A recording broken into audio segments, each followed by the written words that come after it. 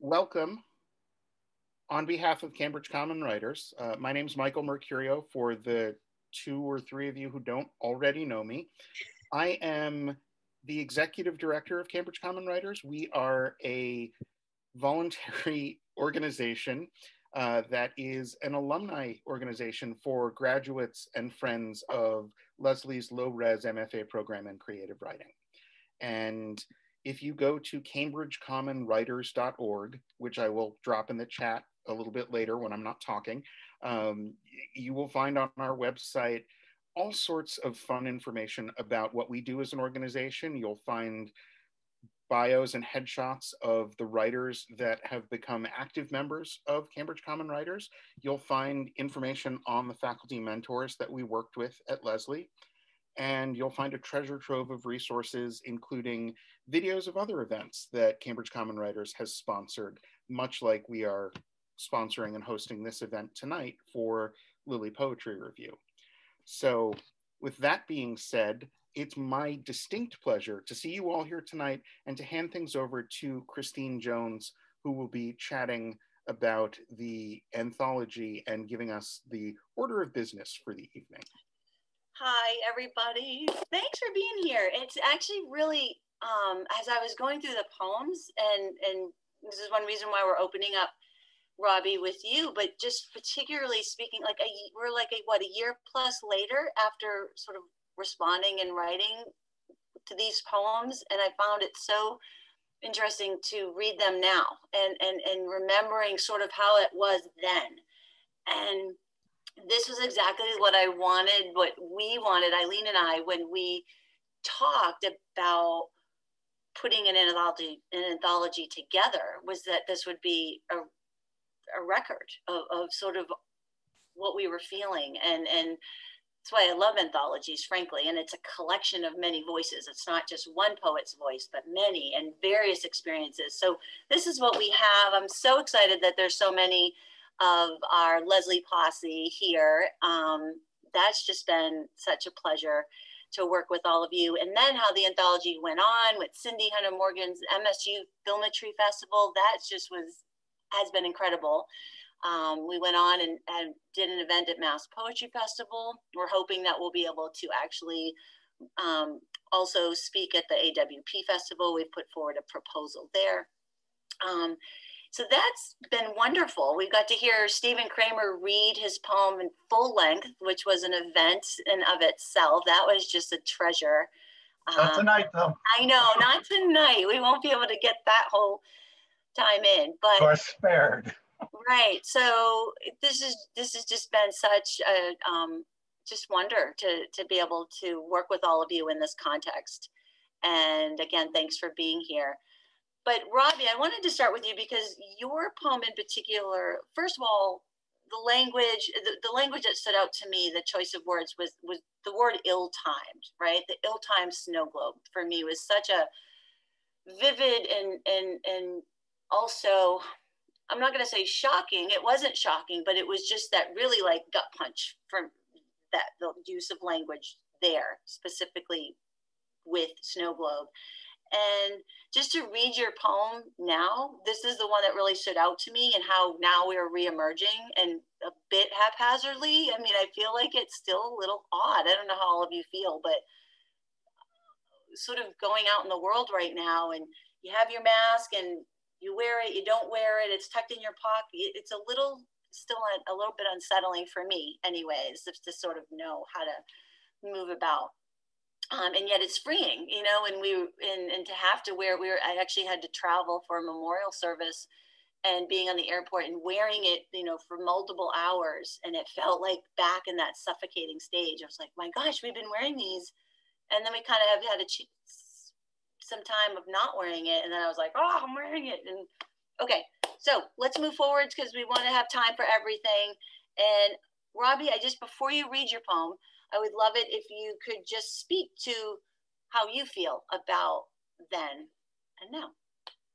Oh, well, thanks, Christina. Thank, thank you, Christina and Eileen, for this project. It's been, it's been such a wonderful kind of, I mean, companion through this whole journey to sort of know that I've been sort of traveling through it with you know, all all of the people who've been part of this anthology. Um, it really feels like extended family. And the, you know, the times we've been isolated, it's sort of nice to know that, that we've all been sort of thinking and writing and, and have had this this venue to share um, our writing together. So thank you so much for the work that you put into that. And, and I'm thrilled that Cambridge Common Writers is able to, to do this tonight.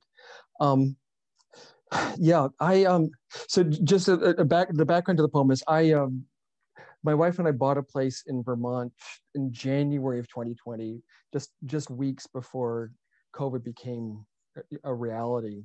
And a, couple months later, when I was I, I had been working as a clinician and I sort of aged out of being able to do frontline clinical work, and so it it sort of made sense to, to come up and and be in Vermont for for when the lockdown happened. And we so I was up here um, very isolated and with this big orchard, um, apple orchard that was part of the property that we had um, had to learn how to deal with. And um, so I, will I think I'll, I'll, just I'll read the poem and then sort of talk about you know, the before and the after afterwards. Um, it's called it's short, COVID Aubade. It's a freak May flurry, and the orchard swirls like an ill-timed snow globe our tiny world contained and precious, interrupted now only by inscrutable daylights, and apple buds hung, huddle swollen and confused beneath their sheathings, assaulted by these cold alien particles. Don't you wonder, when will we know how to emerge? So um, it's it, it's it, uh, the, the the feeling was I, reading the poem now. I realize sort of you know how, how small and obscured the world felt at you know in that moment. Um, and I mean, the, sort of a, a, snowstorm in May is sort of a strange thing, which sort of paralleled the you know the um, you know the the virus you know, swirling through and and um, you know, for, this this is the first time I'd experienced the orchard bearing fruit, and it was our first season there. And we didn't understand what was you know, what would, what would happen or what was supposed to happen, you know, and you know, with the snow, be, how vulnerable the buds would be to all of this. And it turned out most of them survived, and most of us survived, and you know, some some of us didn't. Um, and I, I, guess now it, it's sort of in, in, in, going through another seasonal cycle and having a, a, deeper understanding of what goes on in this land, and and now we have a deeper understanding of the vi- the virus and you know how we relate to it and and what we do and don't need to do. Although I mean we're still struggling with it, um, you know, there still are risks. Each season has its risks, um, but I think perhaps we're we're, we're moving slowly towards uh, things being more knowable. Um, but it is really helpful for me to remember just you know I mean the snow the snow globe image of like how contained we were in, in our bubbles you know where whether it was in the city or in a in a rural setting um, just um, how um,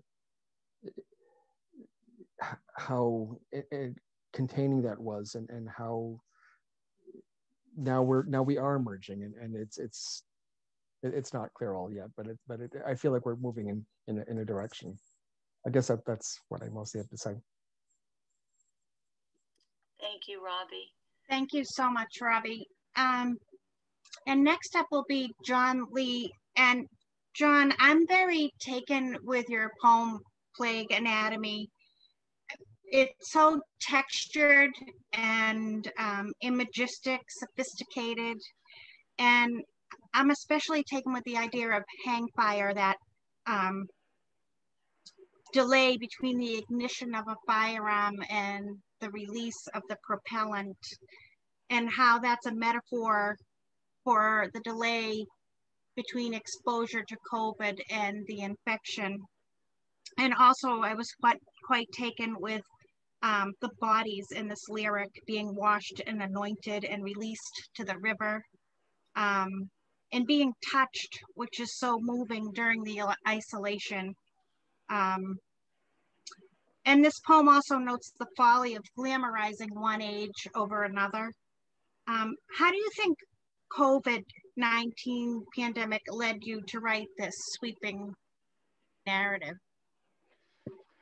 So excellent question, Eileen, uh, as always, of course, and thank you for obviously piecing apart a very intricate and detailed poem for me. Uh, I think I'm going to take in part the trajectory that Robbie did and, and read the poem first so that it's sort of hanging there before the answer is present. And then I'll go back through and, and piece together a number of things that I was thinking about uh, in the poem. So this is Plague Anatomy. The idiocy of valuing the standards of an age against another as if telos, as if a nascent rifted margin kept the present unprofanable.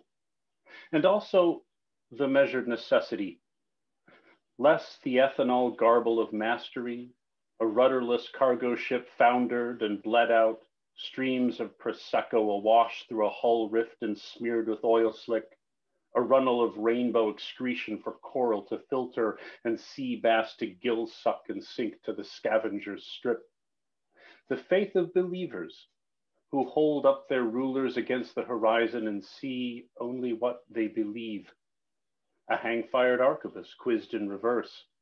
The penance that lesions and pustules and buboes and leaves only families withered like milkmaids in drought-stricken fields, blank eyes agape at the sun, and all the right bodies to gather and wash clean by hand and anoint the faces to touch as the bodies are wrapped and released in the river, the fish on the stove for the meal. So when I was writing this, I was thinking, and this is a theme that has gone through a number of poems that I've been writing recently, where I often find it useful to purposely reduce the world down into opposite poles. Uh, and quite a lot of my work recently has been focused on the poles of, uh, this is probably poorly phrased, but genius and idiocy both intentional and unintentional, because I firmly believe that almost every one of us has the potential to be, at least in small part, genius, and almost every one of us has the potential to be, maybe in larger part, stupid, whether we know it or not. And so when it comes to disease, I had to approach this both as a poet and a folklorist, looking at what it is that people are doing and the reasons why they are doing it. And sometimes the things that they are doing are not terribly intelligent by any measure whatsoever, like the hang fired arquebus quizzed in reverse. Like literally, you pull the trigger, nothing happens, and you turn the barrel around to see what's happening, and then it explodes in your face and kills you. Um, obviously, an act of idiocy there, but then ending with the families washing the bodies and moving away from COVID and going to the recent outbreaks in Africa there, where one of the reasons, as so many researchers and scientists pointed out, that the Ebola outbreak kept spreading in Africa was because of the local practice of washing the bodies before burial, which, from one perspective, is not a terribly intelligent thing whatsoever. That's how you're getting the disease. And from the other is a perfectly logical, rational explanation. Of course, you would want to wash the body and say goodbye before you put it in the ground or in the river and then in the river, from the not intelligent perspective, the body releases bacteria into the river and the fish become infected and then you're eating the fish that the bodies came out of. So it's playing around with these poles there and, and, and trying to get a sense of a navigation of, uh, uh, uh of intelligence versus idiocy. Uh, and then a sort of the last comment purposely chose a meter that stumbles between dactylic and what's sometimes called antibacchial, the unstressed or the stressed, unstressed, stressed versus uh, stressed, stressed, unstressed, the hang fired arquebus quizzed in reverse, because that meter has always felt to me like stumbling, like thinking you're at the bottom of the staircase and stepping forward, except there's one more step. And so you have to kind of jump for just a second. And I wanted the poem to feel awkward in a sense. So there's a number of things going there, just thinking about how humans behave under situations of stress and in a pandemic. Thank you so much. All right, thank you, Jon. It's so fascinating. I mean, just that's a way to think in those terms, and and um, I don't know, and then how it carries into your form. This is this is a really. I'm so happy to hear all of the sort of stories behind the poems. Um, so thank you for that. And we're going to move on to Suzanne. And Suzanne, in your poem, similarly, I found the images to be so vivid and the and and especially for this time and talking about the this that uh, the the aliveness of nature right? So for me, the, the images of the canyon wrens, the mating trills, and the grouse, particularly, I love the grouse flushed from sage, and that just open and that's opening and flying. It's just gorgeous. And for me, what was remarkable of how you match that against such a difficult poem in the face of it and the it being dying.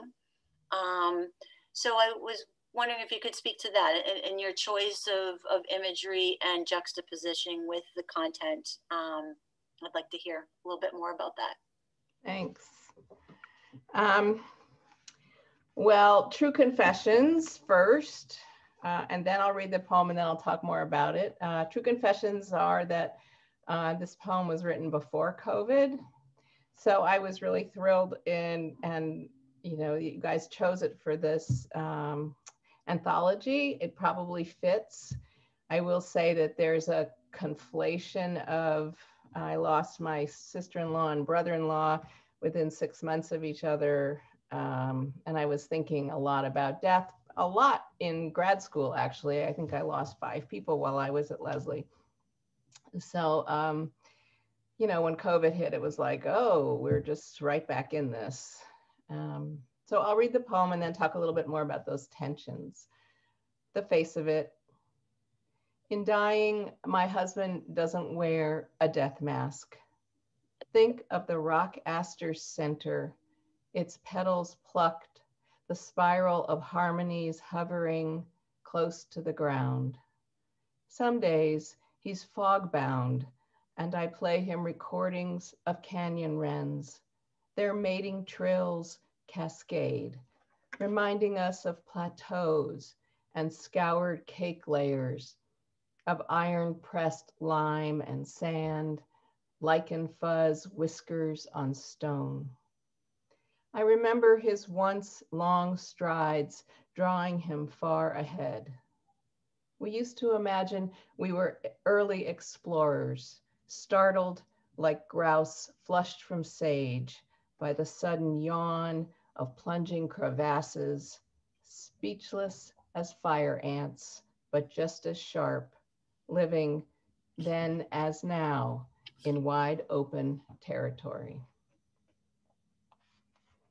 So I was thinking a lot about, um, you know, this juxtaposition and, and this weaving of death and life, always intertwined, always, and one heightening the other, um, like in nature. And uh, I've spent a lot of time over the years of my life in various and sundry um, natural habitats, locations. This was a lot about being out in the desert um, around uh, Bandelier, Santa Fe, areas out there in the high desert.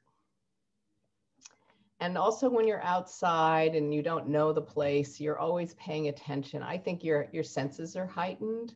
My senses are heightened for sure.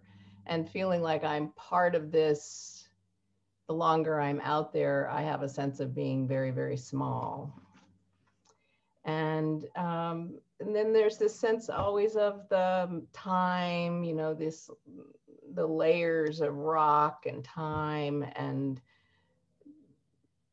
maybe death is just another phase that we're moving through. And so i like to think of it that way. I try to think of it that way. Um, and being surprised by life. And and in even in moments when people are dying there is this these moments of just the mystery of what comes next and this opening up into the the wide open unknown. So those are probably the if i have to explain the poem it probably was a terrible thing to do.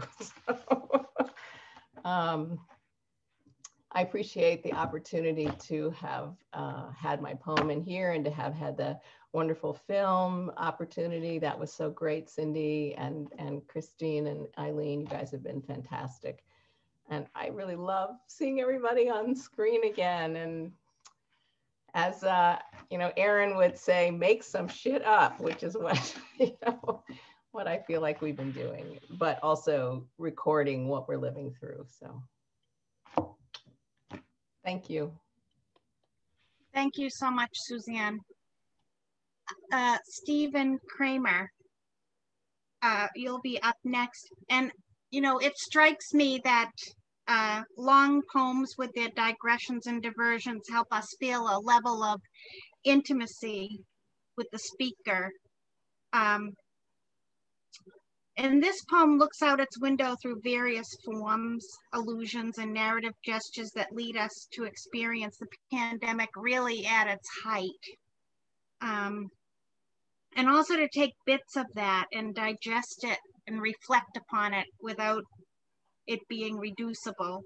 Can you tell us a wee bit about the genesis of this poem and which months of the pandemic uh, that it was written? Thanks, Eileen. Yes, I can because I did homework when I got your email.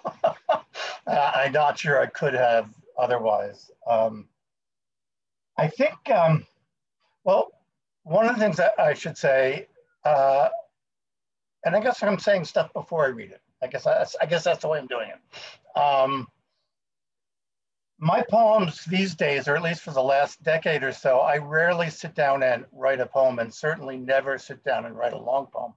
Um, I sort of pull them together from fragments that I keep on my phone more often than not now. Um, and uh, so I feel like they're sort of like, and they're like, I assemble them like Legos without instructions I've found recently. And this one may be more so than you know, a, a one page lyric poem. Um, I look back and I think I found on my phone a line about the ass, hen, the ass end of, the, of a pantomime horse, which I used to compare to uh, Trump to. And I think I jotted that down um, actually before the pandemic in, in, in February before. As I look at it, before my son got sent home from college uh, in like early March, I think it was. Um, and then I believe uh, I was working on it off and on starting in early April, and I believe I sent it to you, Eileen, in late May. I wasn't working on it all the time, but there was a point I sent a version of it to my friend Joyce Peseroff reads everything I write and said, well, I wasn't bored. So I thought, okay, this seems like it's worth, because I mean, if you're going to write something over a page, that's like litmus test one, I guess. Um, I'm just going to read two, the, the two sections that seem to me the most self-contained.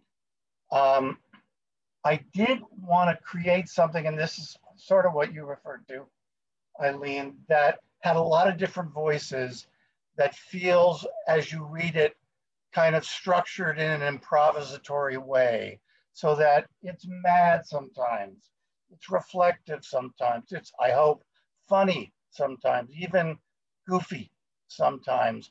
But I did also, as I worked on it, and I talked with Joyce and Teresa Cader about this, I wanted it to get more and more unhinged, as if it were suffering from cabin fever.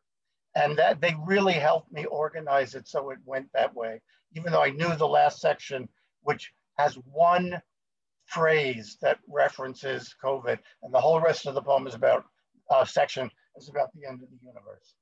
Um, this is a section with a little title, and it's a found poem. My wife came home, Hillary came home and said, just had this incredible talk with the guy who pumps our gas at Lexington Gulf. And she told it to me and I jotted it down and it's none of this is me. Uh, and I think it's really quite beautiful. And it's not everything he said. Lexington Gulf, section eight. So now we can see our behaviors that we didn't pay attention to. We all lived in bubbles and now the bubbles are all broke open. This thing is making us stop and do some reflection instead of just going to the bar for beers before home. And there's a, in a way, you learn a lot about the guy just from that amount. He probably normally goes out for beers before he goes home, but he does go home. And then the other section that I think of is, is more or less working on its own. Uh, grows out of uh, my having read around in the Decameron by Boccaccio um, during COVID. And uh, this is loosely taken from the his introduction where he talks about the plague. And this part, I, I have in my phone a note that says the three approaches, and then has notes that ended up being this section. Some embrace seclusion, get two masks from one bra. Oh, I should say, there are anachronisms in this. Boccaccio doesn't mention bras in his introduction. Some embrace seclusion, get two masks from one bra, labor to touch nothing, talk to nearly no one, but not no one. Shun updates, except when Birx and Fauci risk the truth. The talented perform for themselves, then it's cards or clue. Astral weeks on the stereo, while infinity pounds its fists on the door. Some eat, drink, fuck night and day, sing whether or not they've got the pipes, call ventilators, breathalyzers, give shelter in place the finger, chug beer from taps in evacuated bars, annex and occupy the homes of the dying and the dead, while infinity pounds its fists on the door. Some order feverfew capsules online, boil or fry peony petals drink tincture of ginkgo and golden seal. Sick of vice or virtue and the hedges between them, the last ones know escapes the final cure and flee to the Florence of Boccaccio's time. Infinity pounding its fists at the city gates. That's. Thank you. You have, to, you have to read it all. yeah, but but but honestly, I feel like even the snippets, um, you know, sort of just like that lens in and really focusing on on the section is equally, um, I don't know, and, and compelling for me. So to hear it again and again, it's just one of those poems you just want to keep going back and sometimes just focusing on a section here and there. I love the story behind the Lexington Gulf. Um, I know where that Gulf station is, so it's kind of fun to picture it. Um, so we're going to move on to Frances, And Frances is, it, you know, some of what I've loved about this is getting to know many of you that I didn't, I wasn't at Lesley at the time that you were, and, and so to get to know you through your poetry. Um, and Frances, I, I really appreciated. Um, you had three pieces that we that we featured here in the anthology, but I, what I'm hoping that you'll speak to, and we only have time for you to read one, and, and what I what I loved is how some of these poems spoke to one another without sort of knowing, and yours particularly speaks to to Michael Mercurio's, who we'll have him read. He'll follow you, and here and your opening line is just so captivating um, about the you know the cat doesn't care if we have to pay rent and and that just for me speaks to nature's indifference and and that was something that really struck that was startling I shouldn't say startling, not the right word, just really struck home with me throughout the pandemic. And when we could look at, as some would call, a terrible beauty, right? That it, there's just still so much beauty, beauty and, and the world's still happening. Um, while it was hard to, to know how to appreciate that when so much sickness was happening around us. And um, anyway, so that line for me really spoke that so subtly. And I'd love to hear where that line came from for you. What was the moment? And does, you know, how does that line speak to you? And is it the same or is that different? Uh, well, thanks, Christine. Um, so, uh, again, in the interest of full disclosure, I'll say that um, the first draft of April Merciless was written in 2014. Um, so, uh, and it's gone through a number of revisions. Um, it's it's a bit of a sonnet now, um, and um, it came from an afternoon um, when I was we we used to live in a townhouse that had beautiful a beautiful courtyard in the background that we shared with other townhouses in the complex. And when the weather was good, I would go out there and bring a blanket and just lay on the ground and let the cats run around. Um, and it was really idyllic. Um, but in April, what I've discovered is that there's something very odd that happens when spring comes and the sun comes out and the weather gets warmer. Before the leaves come out, I find it it's actually um, I always feel very exposed, and it's really easy to get a sunburn that time of year. So there's this bright sunlight that's not yet like summer sunlight. It's still got that wintry edge to it, and there's no um, there's no escape from it because there's no leaves out yet. Um, so I, I, think that that was that was very much a part of that poem. Um, and the cats don't care. I don't think that was the original first line of the poem, but it was called out to me in workshop. You know, the sounds, the the k k k sounds in it. Um, and again, the idea. I mean, I think your point that it's about nature's indifference is really true. Um, and seriously, the cats don't care whether the rent goes up or not. They're really just concerned with the here and now. Um, and yeah, I mean, COVID is a perfect example of nature's indifference to us. Um, it doesn't matter whether you're a Republican or a Democrat, um, people get sick the same way, you know? Um, and people argue about it, but people get sick. Um, and um, also, if you think about it, the virus is just a very successful organism you know, human beings are successful organisms when they reproduce, or that's one argument anyway. And so this virus was so successful because it was able to get these host bodies and reproduce and pass itself on. Um, the death of so many people was kind of incidental to that. Um, but I, I, I, mean, it's a, it's a horrific thing that's happened, and I think it's changed like the nature of our country and the nature of our world. Um, but I do think that there have been some some hidden benefits to it. Um, you know, like Steven was saying, like Steven quoting the guy pumping the gas in, in the previous poem, it it it certainly forced me to step back and reflect. And I loved that idea of how we all live in our own bubbles and the bubbles are burst open. You know, it really pointed out how interconnected we all are. So um, anyway, that's my long version. I should uh, I should read the poem now, right? April merciless. The cats don't care if the rent goes up next year. Right now, the back door's open. We tumble out. The sunlight's merciless. Mere buds on the branches, no feathers in the shade. The blue jay blares.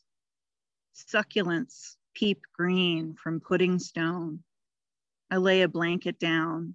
Cold filters from the ground my head hurting in the glare, my head too open to the air. And then the final thing I'll say is just, um, you know, another other evidence of nature's indifference is that last spring I was so awake to this incredible blooming that was happening in my neighborhood because I was going out for walks so often. And it was frankly also just a really beautiful spring, as was this one. So I would just see these waves after waves of blossoms and flowers happening at the same time as like these horrific body counts were happening. And um, I, I don't think you need a clearer illustration of nature's indifference and nature continuing on no matter what us humans are doing. So thanks. Thank you, Frances. Um, yeah, I mean, that's just, it's interesting. And, and same with Suzanne's poems, how these were started prior to the pandemic and yet still have such strong relevance, which, okay, then speaks moving, you know, we're going to hear from Kevin in a little bit and, and Kevin's poem speaking to ancient history and how that just, how it, it, it comes back and we, and we learn and we keep learning and it, then there's relevance that just keeps coming back and, and it's just, that's why it's we keep telling the stories and we keep listening and we keep learning. Um, Michael, you're speaking to Mercy in a Cold April, so a very similar title. What I loved about your poem, what struck me, and here's another, you know, being with alum, and I had the pleasure of working with Michael during our time at Lesley and watching his poems progress. And, and so I remember where where Michael's, you know, what they look like years ago and to see this poem so open, right? So like Michael and I used to share our because we were both very like tight, written, short, as short as we could be. We wanted to get off the page as quick as possible. So he and I would just sort of be like, I know we got to write longer. We got to open up. So Michael, it was really just lovely to see this poem and spread out and get like the turning the book now. We're gonna have to like see these lengths um, in a different way. And so I'd love for you to speak to the form. And, and I guess the lines for me that, that really spoke to the voice and the tone, the oh patience, oh patience. But I felt like in addition to that re repetition, the form really lent itself to this tone and voice for you. And I don't know if that was conscious or not. I don't know if this was an experiment for you to go long or if that's what you've been doing some more of. I know you're writing longer work. So if you want to speak a little bit to that, that'd be great. Sure. Thank you, uh, Christine. And thank you, Eileen, uh, both of you for including this poem in this anthology. Uh, it, it's really wonderful to be among so many other incredible, incredible poets. Um, and, you know, a preponderance of Lesley poets, which always makes me very happy. So I'm going to read the poem first, and then I'm going to share my screen and talk about uh, the, the questions that Christine has put to me. So actually, you know what? I'm going to share my screen while I'm reading. No reason you shouldn't look at it while I'm looking at it.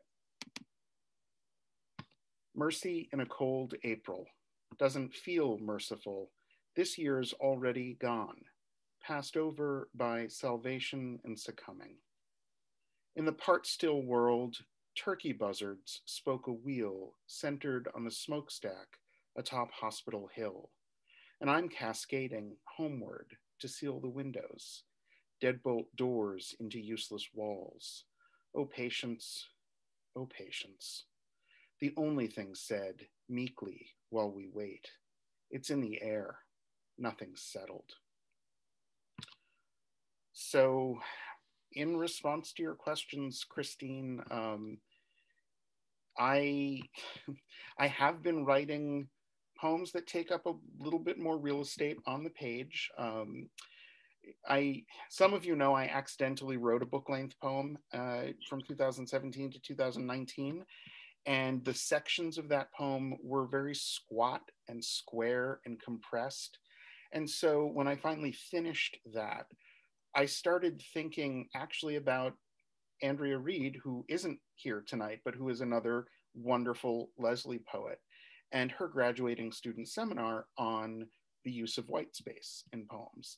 And I had played around with it a bit in grad school, but it was always an experiment I would run after the poem was finished. And then, you know, I'd play with the spacing and say, well, what does it look like if I blow it out from the center? what I started doing and what this poem is, is a part of is what my friend Jane Lunin Perel calls my disintegration poems, where the poems themselves start to unravel on the page and the breaks, the caesuras, the, the white space in the lines starts to function for me like some combination of breath and line break. And you know, I I think a lot about the fact that Frank Sinatra is not a very good singer in terms of the quality of his voice, but what sets him apart, and I'm probably going to be, you know, unfriended or beat up by, you know, fellow Italian Americans for this. Um, but what sets him apart is his phrasing as he sings. And the whole reason he employs the kind of phrasing that he does is because Tommy Dorsey, who found Frank Sinatra and made him a star, taught Frank Sinatra to sing the way a trombone player plays trombone. So what I've started thinking about is the way the the implication of breath in these spaces starts to function in speeding up or slowing down the poem itself. And you know, I, I've written a bunch of poems. They don't all look exactly like this, but I've written a bunch of poems that are disintegration poems that, you know, for me in thinking about COVID, and I did write this during COVID, I did write this in April of 2020. Um, thinking about how closely related COVID is to breath. I wanted this poem to really feel drawn out. I wanted it to feel like it was challenging the the regular breathing of whoever was reading it. And as far as oh patience, oh patience, I mean, aside from really liking the way it resonates on the page, um, there's also that le- added resonance of, you know, people under medical care are patients. And so, with the rising number of sick people in April of last year, I wanted to bring that in somehow. But the fact that it repeats and in two different places gives me what Paul Celan would have called a breath turn where, you know, as I'm reading it, the first oh, O patience is oh, O patience. And the second O patience is O patience. There's a giving up there. There's a, a change in the, the tenor and the tone of it that really spoke to my feeling of helplessness at that point. You know, I'm I'm pretty sure, I'm not totally sure, but I'm pretty sure that around the time I wrote this, masks weren't really widely accepted, and very few of us were actually using them. Um, I was because I'm paranoid and don't want to die, um, at least not from COVID. Uh, you know, struck by lightning or some other transformative death would be good, but COVID was just too sad.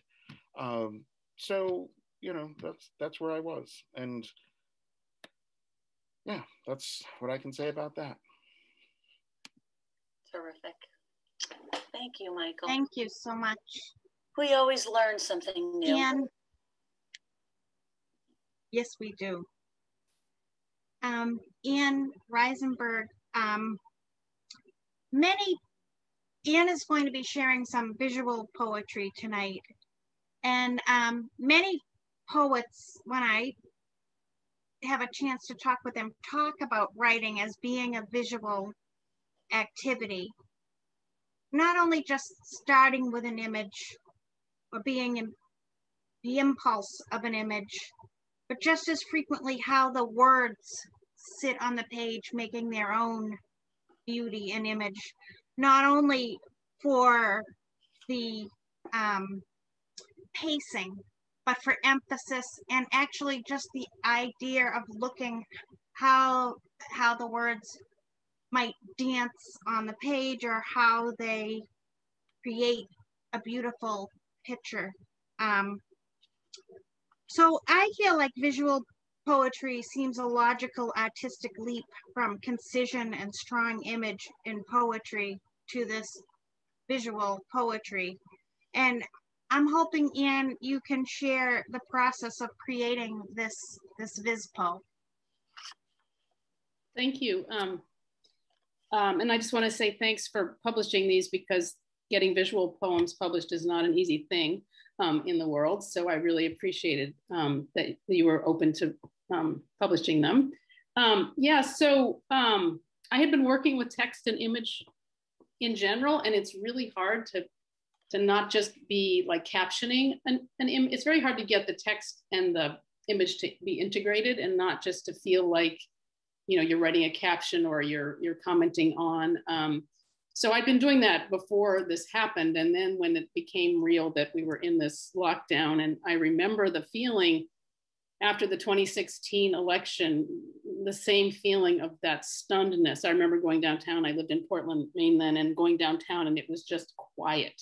You know like the whole town was sort of in this shock of of um, what just happened and this came on more slowly than that but there was still my response to that and response to the lockdown and sort of was to slow down you know and think okay this is this is hard. Like what can i do? And i, I wanted to be more generous with people and kinder and more thoughtful and do the small things that i could to make a difference. And these poems sort of felt like like how i had these words that were sort of echoing in my head the two that you'll see. Um, what i'm going to do is talk a little more and then Christine's going to screen share them. And I thought we would look at them for like 30 seconds a piece, just so you can absorb them. I think of them kind of as mandalas or chants or something like what is the repetition that allows us to go like through a doorway into thinking about um, you know what does this mean not in a in a in a you know kind of in an echoing kind of way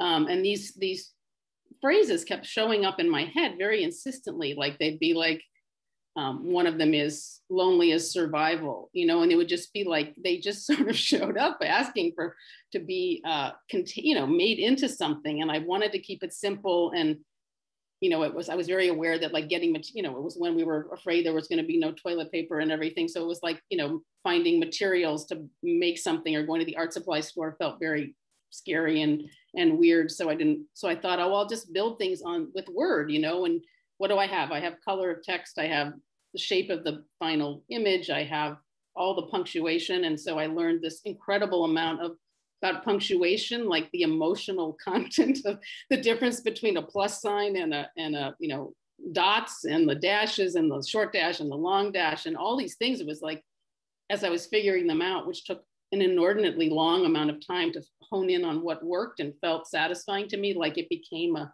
a singular object that could be contemplated. Not everything worked. I have, you know, stacks of things that didn't work.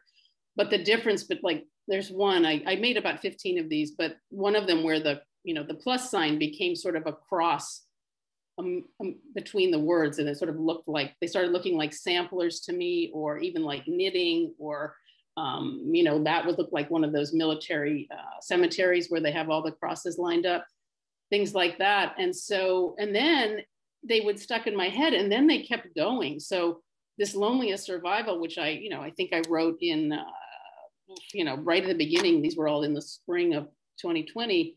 And then I would keep thinking about them all, like it got the loneliness of survival got more and more obvious as time went on, you know. So, and it was like, oh, this is just sort of brought up this.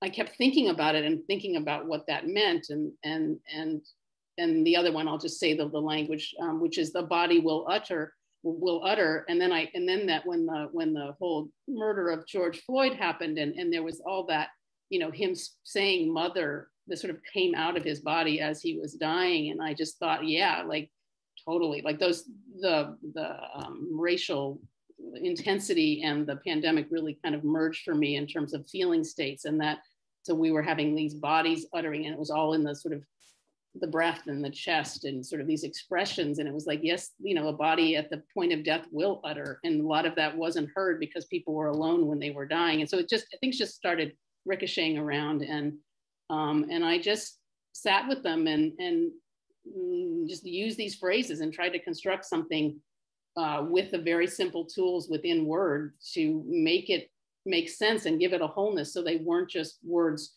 repeating they were became a something you know, like a whole thing that what you, and I do i'm not going to read them because it would be silly to just say the same words over and over again, but I'm hoping in looking at them that there is, I've created some kind of access into a, you know, a more contemplative, um, which is for me, Frances, what you were saying, the benefit of this year for me has been a slowing down and an ability to kind of like breathe and not be social. And as an introvert, it was sort of a huge relief to not have to go anywhere without the pressure, you know? And so it was like, oh, like what, how do I understand myself without all these distractions? And how do I feel more deeply? Because I'm pretty sure that if we all were able to feel more deeply, we wouldn't make, continue to make the same mistakes over and over again quite so brutally. So um, yeah, so I think that's, that's what I want to say about that. And thank you, Christine, for doing the hard work of screen sharing for me no, so I had to learn something new with, with my adult hot pollen infested brain. Um, thank you. I know it seems so silly because I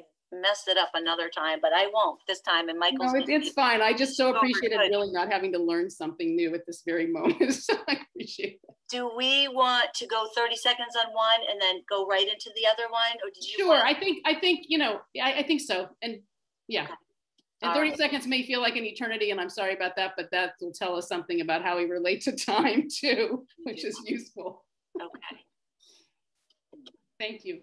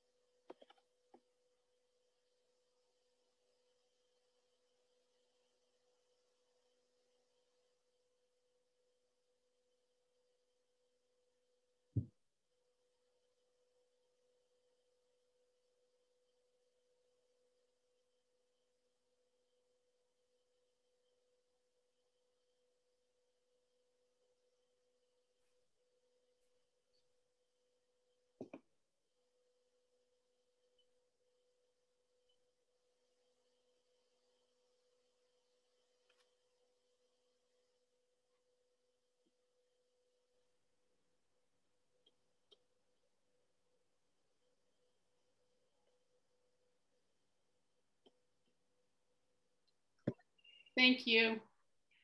Now, that was wonderful. I mean, I almost didn't want to stop sharing sharing the screen because I felt that yeah. it was had there was this contemplation and this sense of meditation and this like particularly with the second poem for me. Um, but that was wonderful. Go ahead, Eileen. Yeah, that was really powerful. Um, I also wanted to say for those of you who do um, work with visual poetry, starting in issue seven, Lily Poetry Review will have a VisPo editor named Suzanne Mercury, who um, knows a lot of um, and works with visual poetry with people around the globe. So it should be exciting to see hmm. some more visual poetry and Anne send stuff our way. Thank you. I will.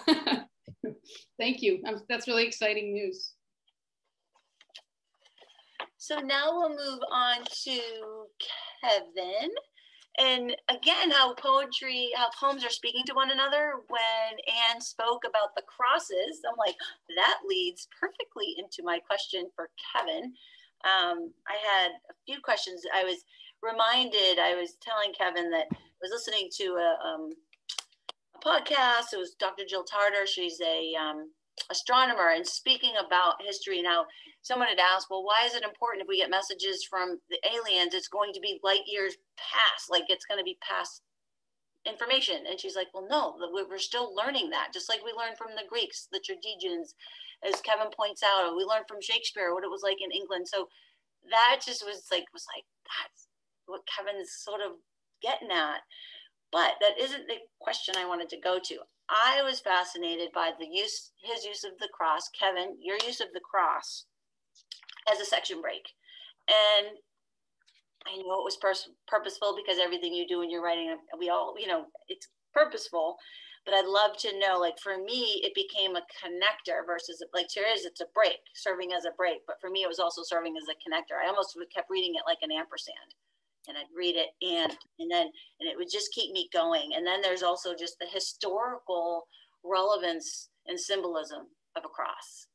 And for me, that was very powerful. So there was just so much about that small little cross that just blew this poem up for me. And I'd love to hear um, how that came out for you. That'd be great. Sure. So I, I, can answer that and then I'll, I'll read the poem quickly. Um,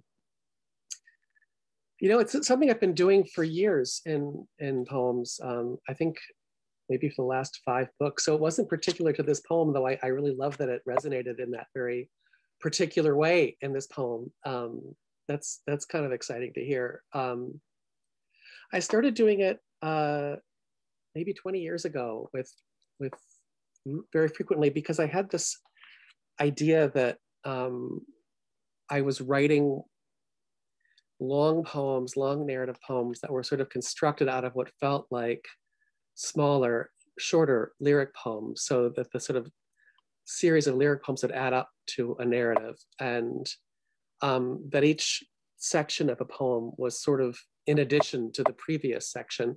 And as I did this, it also helped me write. It helped me think like, well, at the end of the poem, there's a sort of invisible equal sign, right? Um, so this invisible equal sign that as I was thinking of my own writing, I was, would be asking myself, well, what the hell does it all equal in this poem? And then, so what, you know, what began as a sort of trick to help me, to help me write and help me think about writing and help me sort of paraphrase for myself what it was I was after became something that I incorporated into my work and published that way. Um, and now I'm really fussy about it. Um, magazines are often wanting to replace them with little flowers or whatever their little doohickey is that they they have in their magazine. And I always write and say, "Oh, please, can you just not not put flowers? It's really part of the poem." So thanks for not putting flowers in. No. I'll read. I'll read the poem, which um, uh, which began by thinking about, you know, how metaphors sort of always become insubstantial after a while right? Like every metaphor is true until it's false. Um, my love is a rose is true, you know, I guess. I mean, it's red and has thorns or whatever the hell. Um, but then when you think about it, you think, well, it's not actually a plant, you know. Um, like the more you examine the metaphor, the more it becomes becomes false. So I, I kind of played that game with this poem of examining examining a metaphor. The one I'm going to read is just slightly different from the one in the book because I can't help fussing with things. So um, it's called In This Way. There probably was a Trojan War, a skirmish between small rival towns, but we only receive its echoes in literature. Facts about the battle are obscure, endlessly transformed by the Greek tragedians. In this way, the war lives deep in history, seemingly overwhelmed by stories. In this way, a virus hides in an urban population, replicating itself before breaking through. At first, we should avoid crowds. We should wash our hands. In this way, the virus is an ancient story, changing itself all the time to suit our environment. It is a dynamic story, evolving to suit the genetic complexities of its audience. In this way, the Trojan War lives deep in the cells of Greek literature and is also transformative. So now we are closing our schools. We are shutting down the theater district. In this way, crowds and transmission.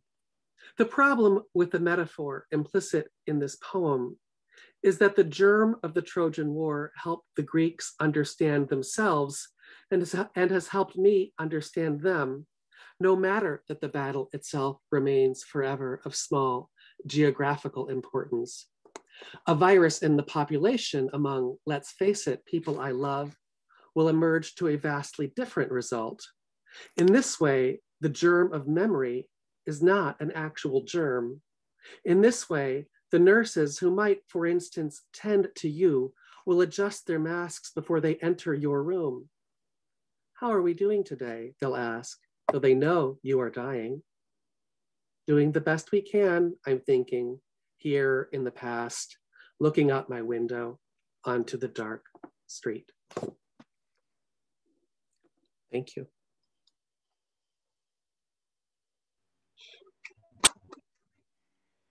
It's beautiful. Um, thank you so much.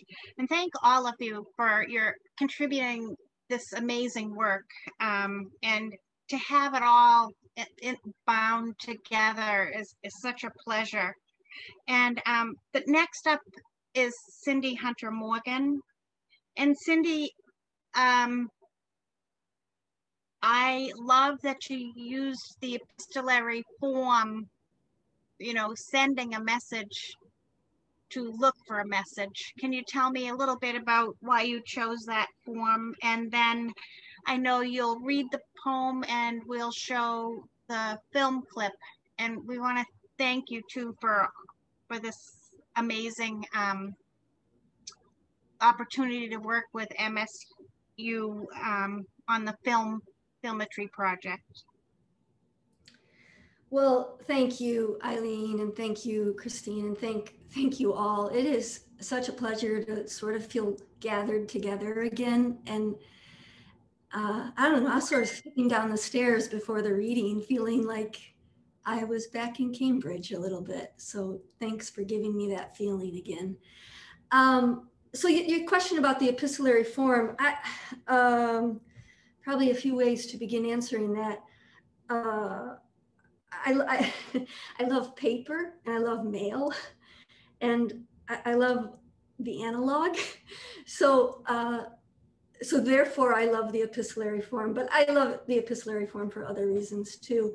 I, I appreciate the way that um, the form lets you kind of speak to the whole world while you pretend to speak to one person, or the way it lets you speak to one person while you're pretending to speak to the whole world, or the way it lets you speak to or pretend to speak to one person while you are really speaking to another person.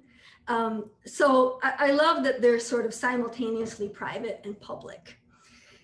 And I appreciate how you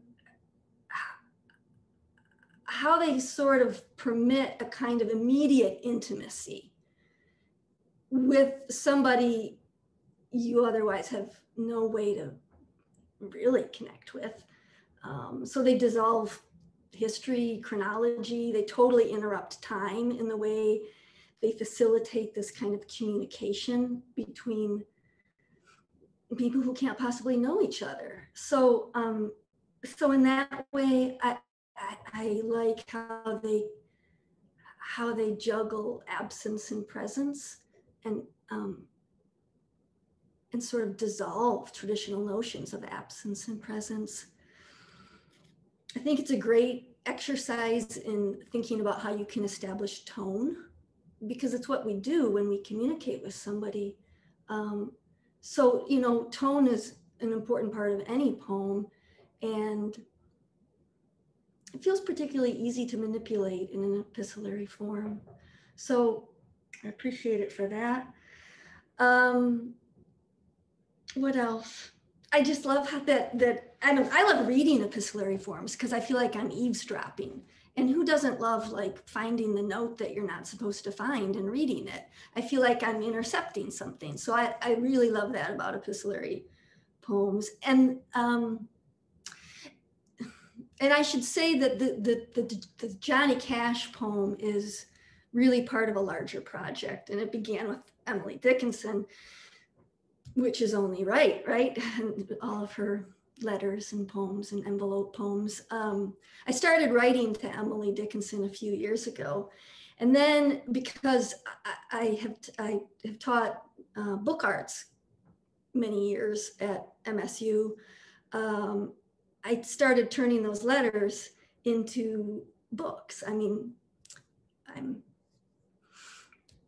um, sort of exploding the notion of what a traditional book is, but I took the letters I wrote Emily and I bound them into an accordion structure.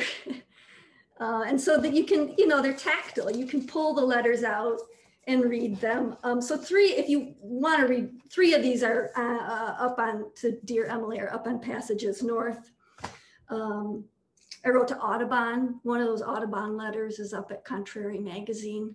And it's just a delight to have one Dear Johnny Cash letter um, in this anthology. And so really great to share pages with all of you special people. So um, Dear Johnny Cash. Dear Johnny Cash, were you really the first American to hear that Stalin died? Is it true the message came by Morse code, which you decoded? That could make any man a little bit famous, or famous for a few minutes on Jeopardy. But I've heard it was you who would become famous anyway. Is that too much fame for one person? It's not my most important question. What I really want to know is what it felt like that moment when you held the information in your ears, your head, your tongue. What did it taste like? Not candy, not cough drop or cake frosting. Pepper? Maybe pepper, spice, and surprise. But maybe that's not quite right either. And that's not even really why I'm writing. It's raining here. We're quarantined. I keep listening to the patter and taps and drips, which might be Morse code. Hardly anybody knows that anymore. We're all desperate for a message, but we're not sufficiently trained to hear it. We need you, Johnny Cash. Sincerely, Cindy.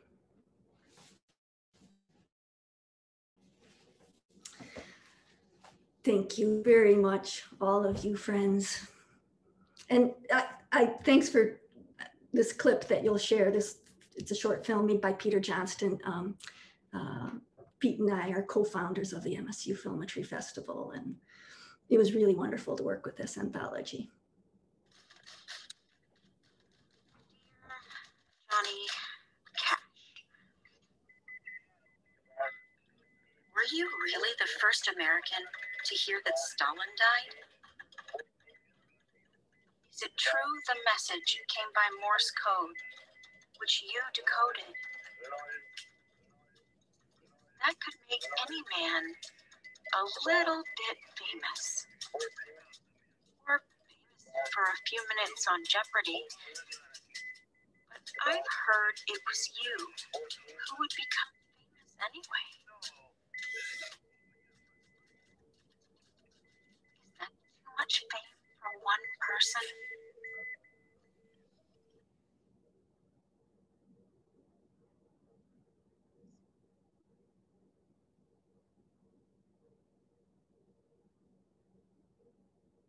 felt like that moment when you held the information in your ears, your head, your tongue. What did it taste like? Not candy, not cough drop or cake frosting.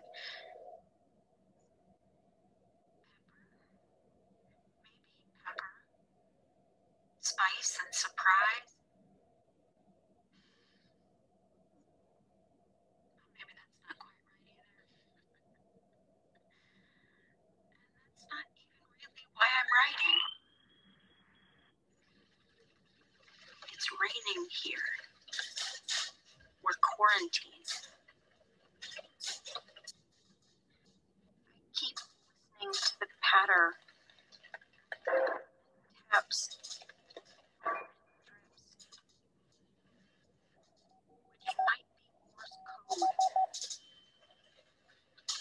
Hardly anybody knows that anymore.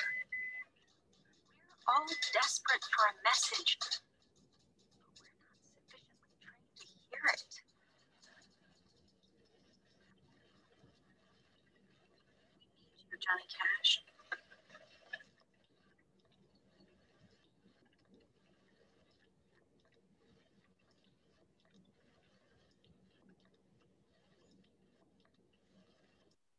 Thank you all. This was a nice event.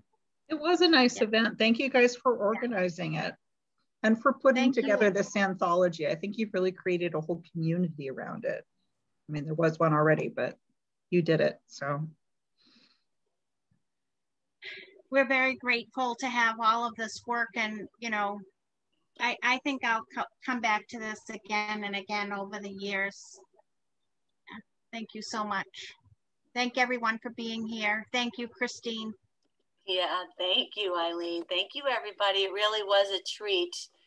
Um, just to hear us all kind of coming together and reading poetry and hearing of your thoughts behind it all. And really, we really appreciate it. And on behalf of, of Cambridge Common, thank you, Christine. Thank you, Eileen.